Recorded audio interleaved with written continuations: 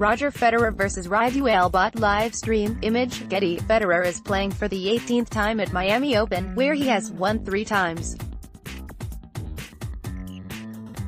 Last weekend, he was beaten by Dominic Thiem in the Indian Wells final, but the 37-year-old says he's happy with his level of performance currently, it was a pity to lose to Dominic Thiem.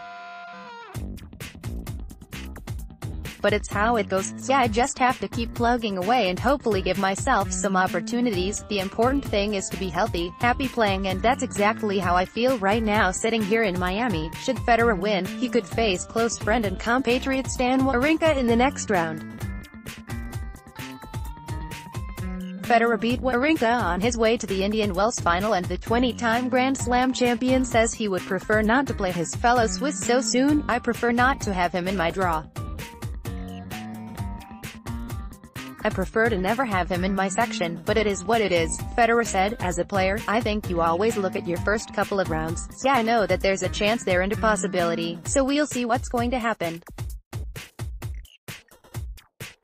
but it's definitely not ideal that we're maybe going to play each other in back-to-back -back tournaments. Coverage of Roger Federer's match against Radu Albot is being broadcast on Amazon Prime Video.